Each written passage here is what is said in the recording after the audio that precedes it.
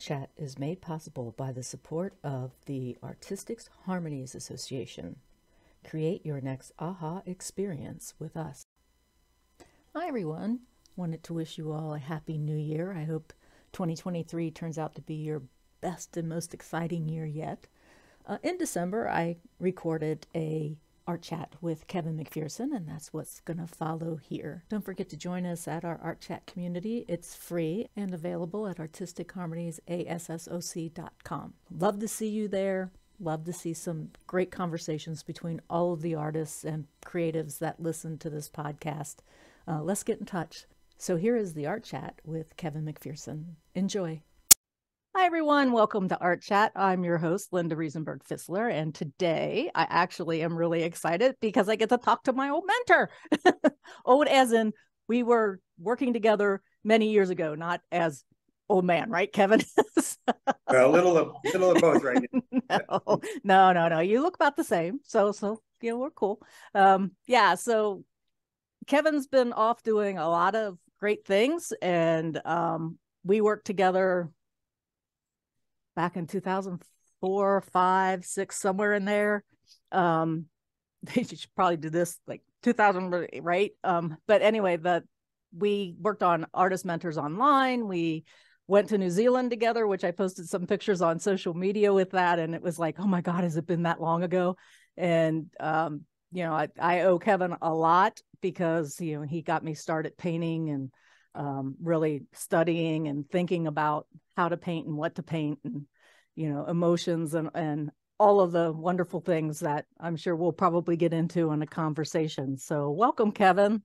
Well, good to see you, Linda. It's yeah, it's been a long time. We did a lot of great things together, and yeah. some of the things we did, like artist mentors online, we were a little ahead of the curve. We, you know, we were, but we did a nice program that lasted a year, and that, that was really nice for students. And um, Actually, you I still work with those students. Three years. well, they were year programs, right? Right, year programs, and we had yeah. the first session with uh, the ten that we had originally, uh, ten or twelve somewhere in there, and then we had a second year with fir- second year students and first year students, and um, we still did some. I think we did something in the third year, half a year or something like that. So at least that's what my taxes yeah, show. But, but, it was yeah, it was, a good program we put it together. And, uh, but you know, as the computer and pre-Zoom and all those type of things, it was, um, you know, it's an interesting one to try. Yeah, yeah, and I mean that was it was a lot of work technically because of where the computer systems were at that time. But mm-hmm. um, yeah, now I think I've lost my coding completely because I think it's just totally passed me by. But um, yeah, but it was it was great. It was a lot of fun. We had the the uh, meeting in February in Taos, and me, who's scared to death to drive in snow, you know, we went up and visited there. Um, I had some folks up there as well in the as a um, you know three day workshop or something. I think we did. I can't remember yeah. all the details, but that that was a lot of fun. And I think after everybody left, it started snowing, and it was like, oh my god, we're never going to get out of here. so it was it was yeah. funny. Well, we did a lot of good things together. Yeah, uh, we did a lot of different facets and yeah, the travel too with passport and ballot. So it was fun. Yeah. Good to see you and good to see that you're doing so great. Yeah, well, hanging in there and and you know, we we're going to get into a lot of different subjects I think this as we talk. Um the first thing I wanted to talk about is I had noticed that you have a a new instruction video out, I think it is, and probably even a book, right? So on the grid method. So tell us a little bit about that and how you got into doing this. Actually, if if you remember when we had done the um, it could have been 2011 when we did the artist mentors online and we had the group up there. Mm-hmm. I was working on a very large painting in the studio and I had lots of lines and ribbons and strings and all this um, that I was demonstrating how I'm using that to compose such a large and complex painting. Right. And from that time period, I um, really found that that helped me so much. And I also incorporated that in my teaching methods, what I call the magic grid.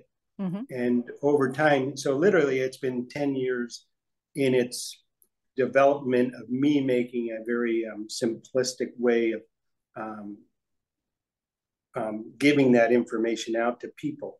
Mm-hmm. Um, we recently did with Eric Rhodes, um, the um, video crew, we did um, three videos called the Magic Grid. One on um, the whole process, and then one on portrait and one on still life. You know, it works mm-hmm. um, for whatever subject you're doing. Anyway, my Magic Grid video, I think is, I, I say it's criminal. You know, like I, I show my because I think it's illegal in 17 states because the universities do not want me to teach this method because it's so encompassing and so easy for people to finally understand how to become an artist. All sorts of painting from uh, drawing, brushwork, composition, color, value seem to fall into place so easily in this method that I um, share. So the, the magic grid starts with the underlying structure of uh, compositional lines throughout the painting. So mm-hmm. dot, line, and mass. And so really I'm breaking down the two-dimensional surface right away with a mosaic of shapes. And the way I like to teach is that, you know, we're painting flat shapes. We're not painting things, you know, and getting over right. the thing thinking, mm-hmm. which is really important. Once you understand that we're just doing little puzzle pieces of color on a canvas, it's so easy, it, it's criminal. And so anyway, the way I, you know, over the years of um, sharing it uh, with some others during my classes, um, sharing it with myself to find the best ways to help my painting. You know, I really came up with a very um, thorough video. It's really clearly spoken and understanding, and it takes the the math out of when people look at things that also talk about the the um, golden section and the different type of grid system dynamic symmetry, which in many of the few books that are out there from way back, it's very kind of mind numbing. And I make it really simple. And I, am just, it really just kind of re-enthused my own painting. I just mm-hmm. love, I use it every painting I do, and it just makes me more creative and um, I have fun with it. I'm really enjoying it. So I really, um, you know, I've done a lot of good books and I think this is just another another step that makes it even easier for people. So right. Yeah, I remember one of the lessons that we did in AMO. Remember we had to draw the squares like on a 1620 the I don't know 100 and some 100 and I don't know. But we had little squares and we had to put just one color in the squares. So I'm wondering is that the beginning was that the beginning of really starting to think about that magic grid or um, had you already been doing it? That was that was more an exercise on value control, temperature ah. changes. You okay. Know, maintain them in there, but in a yeah. sense, it's not different. So, you know what I what the magic grid does, for instance, like when we hold out our thumb and we're drawing life drawing, we're, we're measuring, right?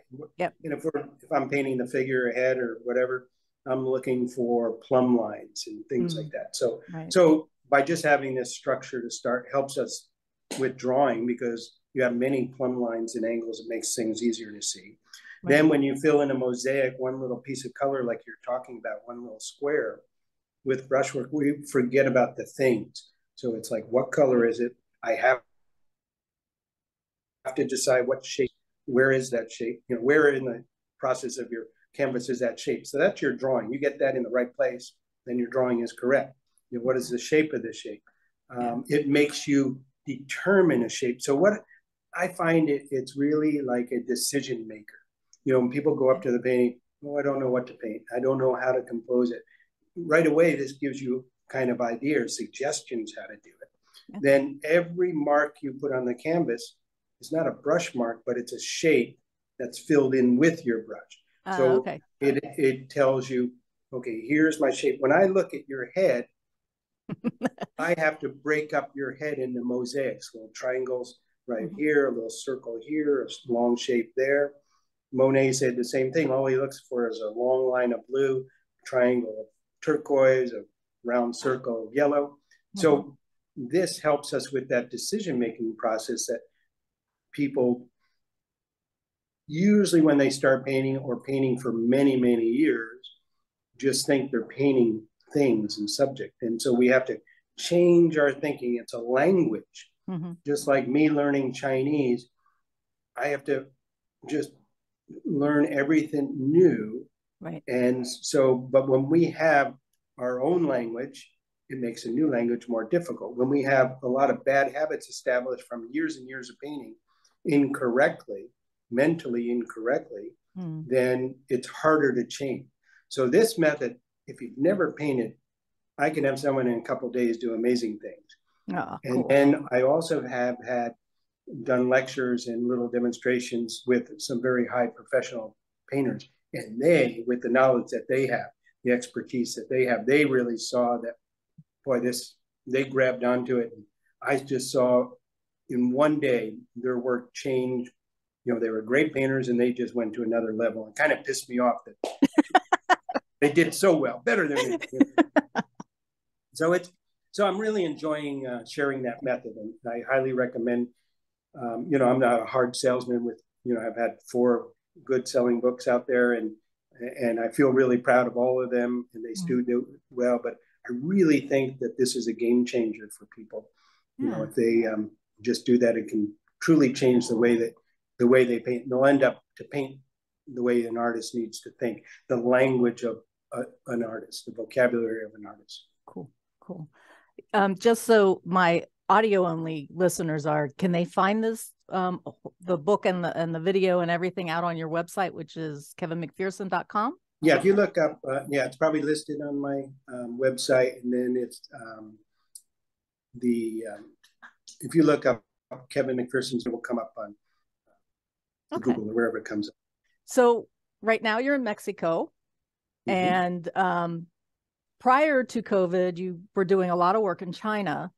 Um, and I'm sure that the grid method was the magic grid, excuse me, was um, also devised more with some of the gift things that you have gotten. I guess where I'm going with this question, Kevin, is you have, you know, when I met you, it was plein air, it was landscape, and then you turned to portrait.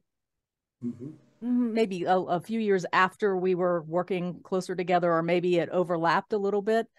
So, and and I know a lot of what keeps us going as artists is that challenge to do something different with our painting. Can can you talk a little bit about I mean, you've been painting for a long time. I mean, college, you studied it in college and you came out from there and this was your love along with traveling and you combined the two, which it was wonderful and is wonderful. So talk a little bit about you know the inspiration and how that keeps you going all these different changes that you have seen through your career as an artist yeah i think for myself uh, i feel blessed that you know i followed that path and kind of made my own path of discovery and it's always worked out you know it doesn't say that it's not a struggle at times you know right. or, but i think when you're following something you're doing you know expect some struggles you know if you're learning to golf i think you golf you and tom yeah yeah we uh, used to and, yeah yeah but you know you have your self-imposed goals you know to mm-hmm. do something and and it's very much like golf in the sense it's a, a very um, knowledge base and muscle memory type of thing but you have to be the intuitive um, player out there to really become the great player mm-hmm. but painting i went to university in northern arizona university and studied illustration. Right. Then I became an illustrator, and at that time, that was my goal to be the best illustrator, like like Bob Peak or Bernie Fuchs, you know, these mm-hmm. type of great painters um, uh, that were doing illustration. And I remember I went to the illustrators workshop, which way back then in 1980. Um, it was a fortunate thing. It was the best of the top illustrators did a workshop, just like now we offer, let's say the Plein Painters America right. group would offer a workshop. So you had the best of the best. And it, so it was phenomenal. So my goal was to become a great artist, a great illustrator.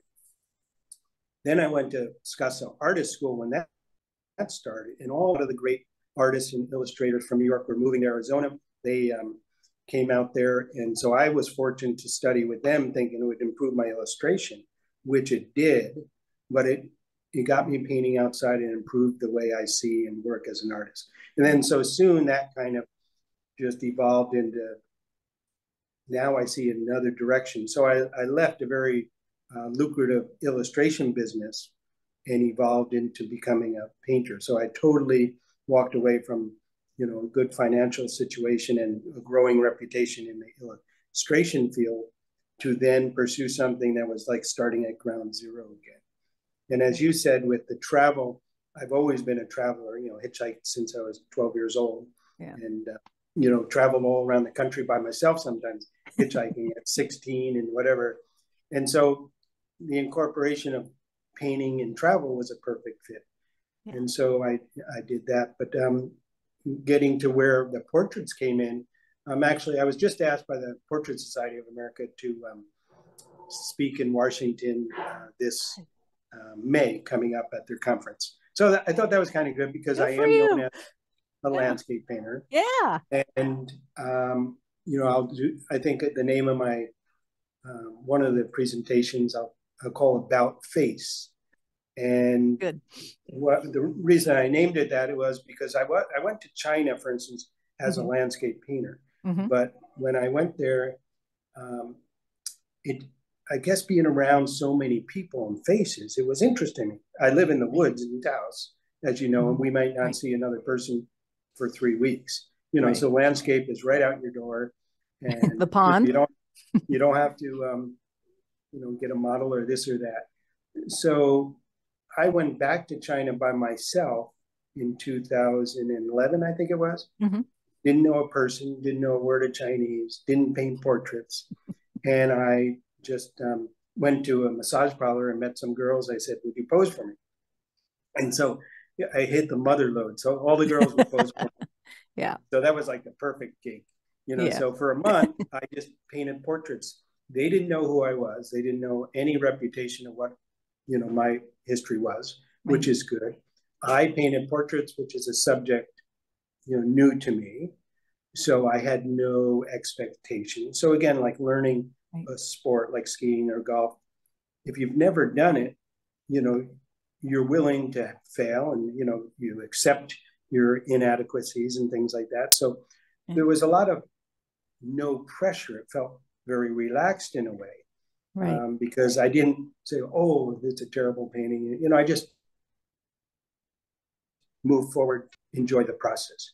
So that kind of just opened up a whole uh, new door to me. And so I, I went to China maybe, I think, 28 different times over the last 10 years mm-hmm. and um, went to all different areas, uh, rural, high end, different places, some of the most primitive places you can imagine, and painted along the way landscapes and portraits and got to practice my Chinese and uh, meet so many different people. And so it, it opened yeah. up a lot of interesting things. And it was not something that the gallery um, you know, said, "Oh, we'd like your portraits," or, or actually, it's quite opposite. We didn't want your portrait. You know, you're known as a landscape painter, so I did it totally for myself. Mm-hmm. Um, and um, many of those paintings, you know, I have hundreds of them, and I, I, did do a big show in Sedona one time with them, and I put them in a, a few different uh, competitions and won best of show on many of them. You know, for mm-hmm. some of them. So, but mainly I didn't display them, haven't really displayed them, and they're they were for myself, my own growth, my my own inspiration. Yeah. Um, I just remember at the Salmagundi and we met Chris um, Egadini, who was your mentor, right? Mm-hmm. Um, and and a professor, I think, at Northern Arizona, if I'm okay. Yeah. Um, yeah. So, and I remember we had your reflections on the pond in the main area of the Salmagundi, and then we had some of your first probably done Chinese paintings. One that won a um, the very big prize was the old man with the cigarette. Remember oh, yeah. that? Yeah. Um, and I love that painting, especially. I mean, I would come back in and look and go, "Oh my gosh, there's a person way back there," and oh, you know, and how you worked all of that in. So, mm. you know, I'm I'm I'm sure that there was this recognition of painting something different in a portrait but that you probably knowing you as well as I do, you took some of the things that you learned in portrait painting and brought that over to plein air painting. I'm I'm sure because I mean, you know, it's it, it ups your game. It's it's a totally different technique, but yet you learn so much from it. Is that a true statement? Definitely, definitely um, yeah. Whatever, like when you're painting landscape, for instance, if you paint something difficult architecturally, for instance, mm, yeah, um, you know, that kind of helps your drawing, helps you get things in the right place, perhaps. Then in the evening, if you paint a sunset, you don't have time. You're just going on intuition. Mm-hmm. So that intuition exercise then goes back into something when you paint it more difficult, like and then that architectural training gets your hand to maybe get it in the right place. You know, when you're on the intuitive. Same with portrait. You have to be more accurate with the shapes in the right place. You know, a tree can be very expressive and still look like a tree, but if you get a little too far out on your face, it won't look like Linda Fisler and stuff. So it's okay so, if it doesn't look like me. so. Yeah, but that's part of it. Um, you know, just just make me look better. My, that's yeah. all. for myself, I like to continually um, challenge different subjects, uh, yeah. different locations, and you know, just to keep it interesting for me. Right.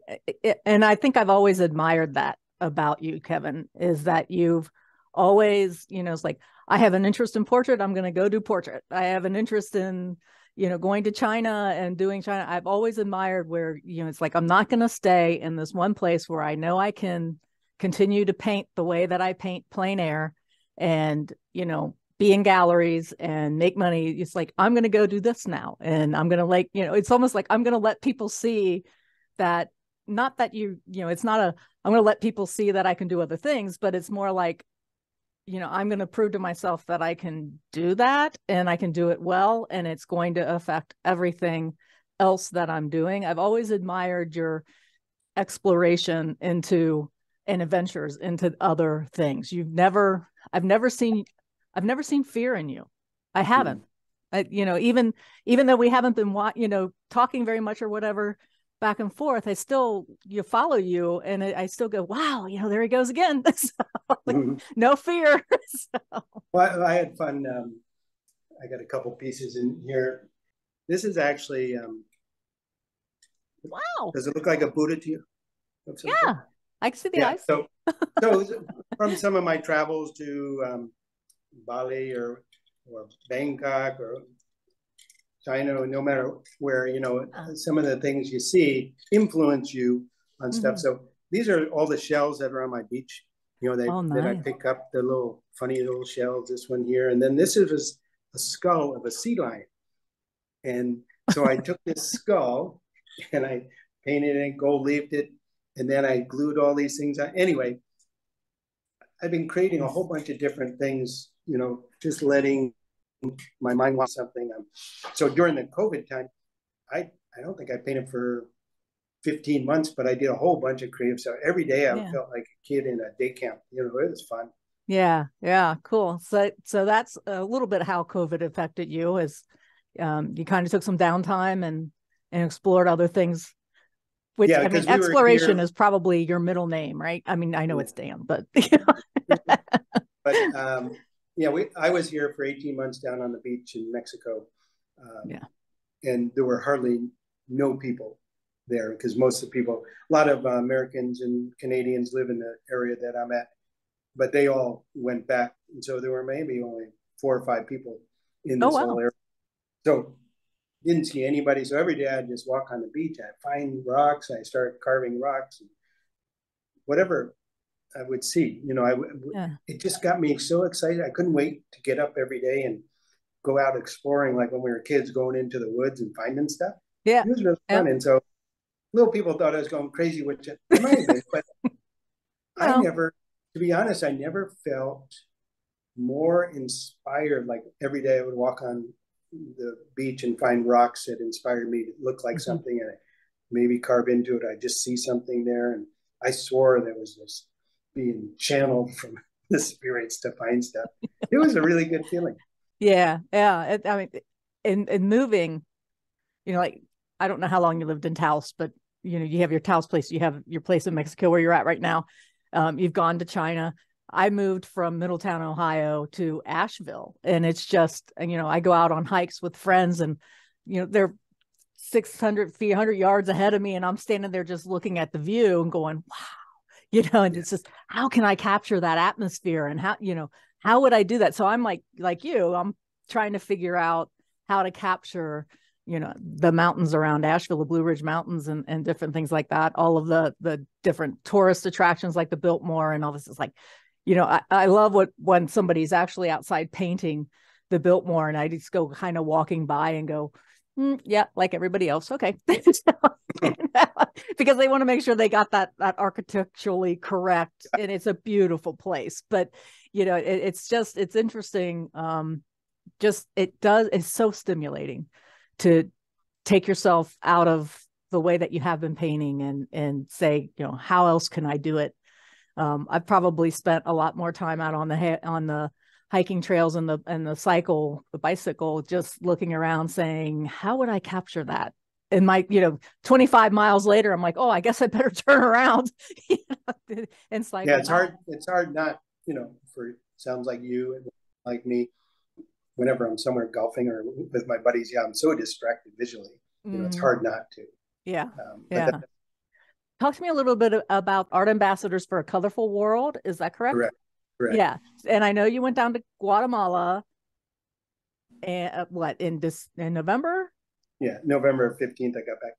Oh, okay. Um, and then prior to that, in August, we went to Peru, and that was good. Cusco, that was phenomenal place. I loved it there. Wow. Yeah, so that was really neat. And um, yeah, we painted up in Machu Picchu, and we've been doing a lot of things in Guatemala. And actually, um, there's a wonderful lady, Leslie Bear, and Mel Dinkle, who started Shayla Aid Local Hope 35 years ago in right in Guatemala. And mm-hmm. I met her oh 15 years ago maybe and we just hit it off. I was so inspired by her um, story and her energy and what she did down in Guatemala. I went down there right away mm-hmm. with her and and that kind of inspired me to start my own foundation called Art Ambassador for a Colorful World. Mm-hmm. Because I go, let's say in China or in Mexico, right. whenever I'm somewhere. It seems like kids are always attracted to you when you're painting, and I like that. And so we, I started going to some really uh, rural areas in Sichuan, China, in Yunnan, China, um, really right on the Laos border, and the most primitive school. I went there many, many times when it was just the muddiest little place you could imagine. And they transformed it into a very nice school now. But I got to work with the kids there every year for many years. And so um, I like to, to go to places that are difficult for the kids to get art supplies or things like that. They don't have art teachers, and it was just fun. And, yeah. Uh, a lot of, and so we we've been going down, uh, doing trips down to the Guatemala, the one village San Martin that we work with uh, over and over, and the kids, again, you know, we've known them since they're young, and um, their parents and grandmas are weavers, expert wow. weavers, like world class weavers, and and so we help them to keep the, that in their culture, give them opportunity, and um, and the uh, organization I work with, Shayla Aid, that I um, work together, just so they help us put together trips to bring adult painters, and then we do like teaching and mentoring and traveling and painting to Antigua, Quetzaltenango, Lake Atitlan, different great places. And then in addition, we spend a few days in the small village working with the kids and all the adult painters, if they like, they um, get involved with doing some of that activity and they love it. It's just cool. very touching. So, so yeah. it, with the COVID, we were doing a great project in Mexico here. We were, I had about 500 of the school kids. The whole town came out. We did um, uh, a big mural on one of the old buildings on the beach in the, on the Malecon. And so we had all the kids involved with that. It was fun. That was literally the week before the lockdown of everything. So it kind of, um, until last year, you know, we really couldn't do any more programs because of the difficulty and stuff. Yeah. So, yeah. so that was nice. Like this year was the first time that um, you can go down to Guatemala, say, without the mask on and it made a big difference and stuff. Yeah, and having to worry about being able to get on a plane with um, you know, so and testing and yeah, all of that. Yeah. It, it, was, it was difficult. Yeah, other people join us. So, you know, we we'll be doing more of that. It's just a wonderful place and different places and um, you know, it's a small organization and Lori Pupman is uh, Lori, vice yeah. with me and she's terrific. She I can't do things without her there. it's really wonderful. So great. Yeah. So when you are when you're teaching the kids, I'm assuming you're not, you know, like they're not standing behind easels. Well, they may be standing behind easels. But what I'm getting at is it, it's not like how you t- teach your workshops. It's more them having more, fun with art or yeah, or giving them an opportunity. Like um, you know, some of the little places, you know, you can't even get supplies. So one time I right. was able to buy ping pong paddles. You know, say, oh, we can draw some portraits on ping pong paddles. Like, what kind of supplies can you even get to some of these places? And um, you know, just when one of the great projects we did recently down in um, Guatemala, they have the kite festival, which is right on the Day of the Dead weekend. So mm-hmm. that they have these giant kites that are big as a house that they um, create, and hundreds of thousands of people come to this one area, and they let the kites go up to um, kind of greet their dead ancestors and kind of make a link between, you know, a communication link. Anyway, oh, nice. kites are a big um, historical factor in uh, Guatemala. So we had the kids make their own kites and, and, then try to fly them. That was fun. And then the wheat peels, the um, weavings that they weave for their clothing, we just had the kids design their own, you know, on paper and stuff. How creative these kids are, you know, how inherent some of their um, graphic thinking is because you know when the ladies weave their clothing, it's coming out of their head, and it takes three months to make this complex design. It's just wow. unbelievable. I'll send you some pictures just yeah. you know as another thing how I get inspired, you know, like I showed you that skull and the mm-hmm. the Buddha head, you know, how that gets into your head and then you see things different that if you didn't explore a different country or culture, maybe you wouldn't think of that. And then the weaving, the color combinations that they put together are so different than what we would think of. Um, and the kids had this I think inherently in in their work. So I give them, I don't go really teach them. We may give them the supplies, the concept of what we're going to do, a little focus, but then we let them just have fun with it. And, right. and they really, you know, it's something that, um, you know, a lot of people say, oh, why don't you do it in the U.S.? You know, I've done it all different places, and you know, I, I do it where I happen to be. Mm-hmm. You know, and you know, if you can make a couple kids happy, you know, what, what does it matter if you do it here or in Portugal or wherever it might be, right? Right. So, and what when I say underprivileged kids, sometimes, you know, there's poor kids in U.S. too, but what we can have access to is so different than what little they can have access to. So, yeah. But again, yeah, it doesn't absolutely. matter. Like this, this was one of like here's inspired. Um, one day, what during the COVID or a month, I um this is in Wanda's studios. I painted her uh, okay. uh, chest with just different things that are very different than I would normally do. But some right. of those type type of imageries and designs are kind of inspired by some of the things I see maybe down in Guatemala or wherever. Right. Cool. So yeah, yeah it's so helpful. Thank you. Um, yeah. yeah. So you were saying that Lori travels with you to Guatemala. Do you have other folks that travel with you to like to Peru or to any of the other places? Well, well lots of um, she's with the art ambassador. She's been um, with me as my co-partner, mentoring partner, and um, also helping on the the program itself. Um, so her, she and I are the leaders on these recent ones, okay. and then we get artists from all over who want to travel with us. You know, cool. Um, yeah, you've really got a network going there, Kevin. yeah. great, yeah. great. So yeah, that's good to hear. Um, you you've been to China, you've been to Guatemala, I know you've been to France, I know you've been to Italy or different places in Europe and all of that and, and you really do immerse yourself into that to each of their cultures, don't you?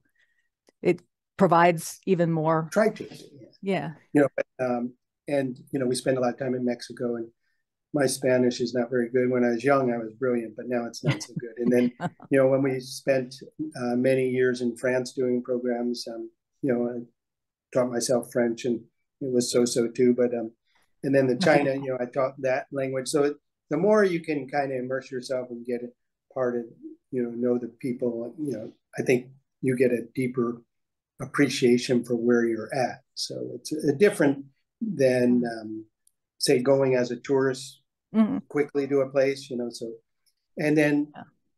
for instance, in China, um, you know, I my books are translated in Chinese. So, you know, I have a big reputation in China. So I can go many places and people I could connect with artists, Hmm. you know, from there or Europe, you know, especially with Facebook, you know, we can go anywhere and really Hmm. Feel like we have a relationship easily um, put together. Yeah. Have you stayed in touch with um, Ben Ho and Mary May by chance? I have not, but You um, haven't? Okay. have you? Yeah. Uh, no, I haven't actually. Uh, but I, uh, watching him paint behind their gallery, Mhm.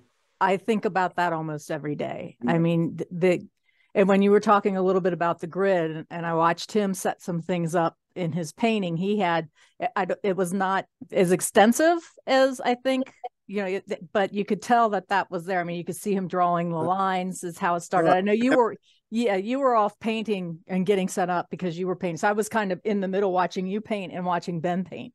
And Oh, it's cool. just, you know, that was, I, I learned so much just from standing there watching you guys paint for about an hour, hour and a half, however long it was, versus me sitting there trying to capture the landscape. I took a few pictures and stuff, but um, yeah, that was that really left its mark in me.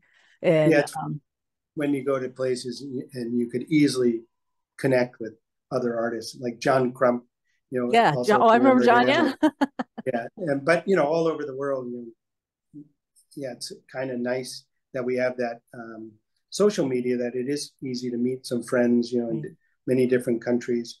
You go to Norway, and I'm sure you can connect with somebody. yeah, Yeah, yeah. It's Make it it's yeah, that is fun from and and, and so helpful too. Um, that social media can bring that that to us. Um, Yeah. So, so what do you have coming up next? I know you said something about Portrait of America. You're going to be there. So, yeah, um, Juan and I are actually going to do a um, trip uh, to South America. We're going to do a cruise, and we're going to do painting along along the way. I think it's a 21 day cruise from uh, Buenos Aires to Santiago, and so instead of jumping off and rushing to all the um, tourist locations, you know, we'll use that as a little painting exploration thing. So we'll get to places that are interesting and do a painting probably at every stop that we do. yeah. And then if actually um, with um, China being locked down for so long, actually one of my good um, friends from China, she's going to come this Christmas. She's finally able to fly out. She's going to stay a month down here, and we're going to do some filming together for some programs over in China. And she she's a great gal that I met very early on when I was just doing the volunteers with the kids. She was working for the government at that time, and I was the first one to ever take her out painting. And she got so inspired, she totally quit her job in the government. She um, Oh, wow. she um, she wrote a book on watercolor painting. She's inspiring thousands of people doing some uh, online lessons and uh, different retreats. So it totally changed her life. Just Oh, great. uh, yeah, and she actually named her little kid Little Kevin. Oh, nice. But he doesn't look like me. Wanda's not worried about that. That's good. He has big, big eyes, you know. So Yeah. anyway, so but, Wanda's yeah, still painting? uh, yeah, and Wanda, Wanda and I went down to Cabo San Lucas last week um, for a week, and we just kind of relaxed down there, just a slightly different location. And I got her back doing watercolor, and that kind of Good. means. And she's she's amazing. She cannot paint for six months, and somehow she always gets better. I don't know what she does. It's kind of amazing. She doesn't have any pressure. She doesn't have the pressure that you have, Kevin. So, yeah but actually at this time in my life too um you know I'm, I'm enjoying it as much as i ever have and i i feel like there's no pressure like Mhm. i don't push to sell things you know i i'm just doing them for myself and you know the way you should do them Yeah, Yeah. we had a little bit of a conversation. I, as I said earlier, I recorded an art chat yesterday with Michael Harding, and it's really kind of funny. Two days in a row that we were doing this, and and both of you, Michael and you, have said the same thing, which is, you know, you have to paint for yourself. Don't put that pressure on you to, you know, say I'm going to sell as many paintings or or whatever. But the ones that you really put yourself into seem to be the ones that a lot of interest comes from, and yeah Um, yeah. i think if you do it for the right reasons you'll find the audience you know like you only have to find one other person that likes your painting really but, hmm you know it, it's a different thing um when you are making a career, which I did my whole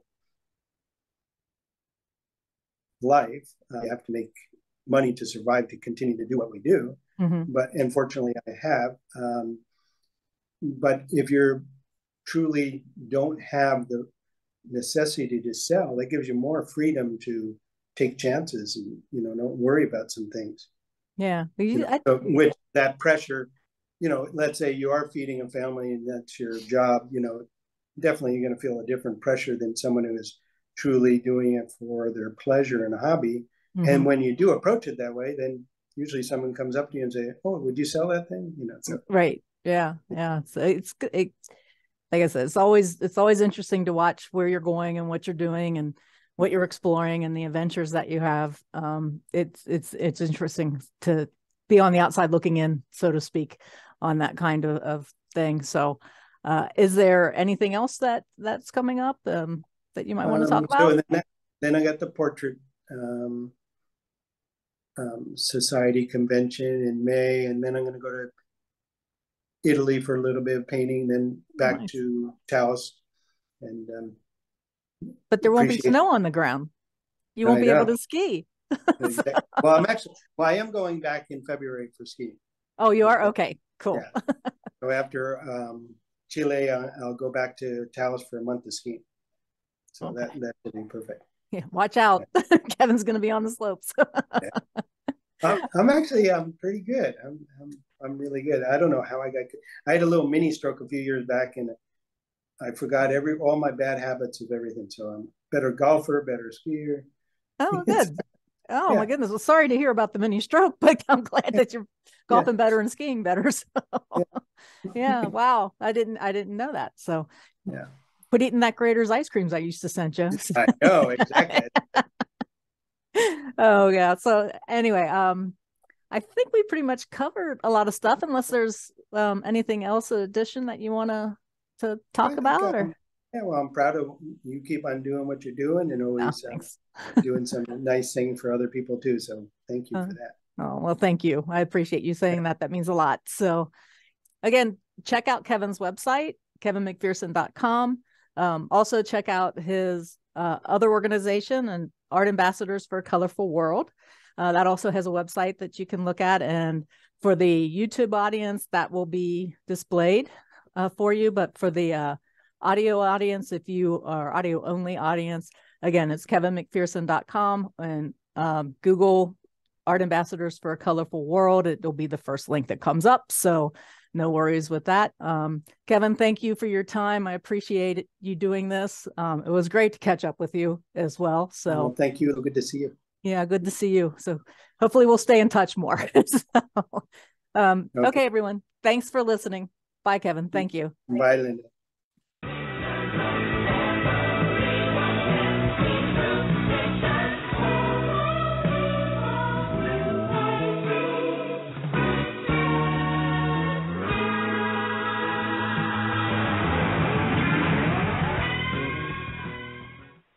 Art Chat is made possible by the support of the Artistics Harmonies Association. Create your next aha experience with us.